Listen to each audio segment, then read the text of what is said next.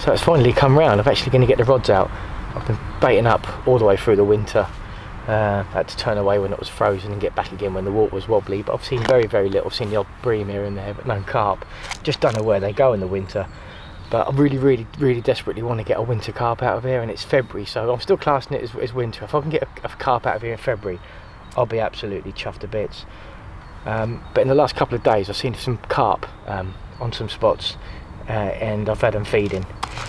So first opportunity I've had to get down there is now. It's it's Friday. I finished work at half twelve about ten minutes ago, and uh, and I'm down there. I've just made up a little bit of bag mix. I'm going to set up a couple of rods, um, you know, away from the water, and then I'm going to creep in and, and, and gently lower them in, and see if we can get something. I'm, I'm really nervous. I'm really excited. This, this is. Um, it might happen. It might not. But I, I think I've got a really good chance. Um, I put the put the legwork in. I put the groundwork in, and it looks like they're down there and they're up for it. So let's give it a go.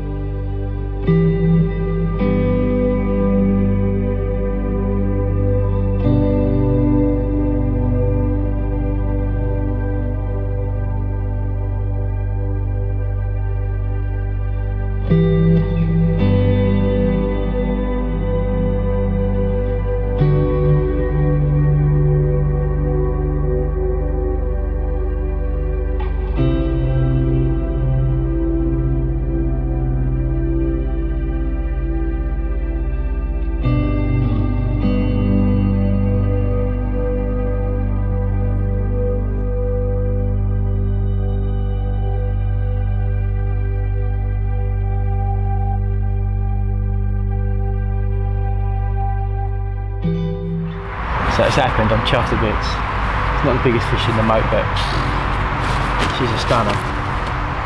She just wants to get back, so I'm not going to hold her up for long. I just want to get her back in the water. Just want to show you. There she is, look at that. Absolute stunner. Caught a free line bit of bread. Unbelievable.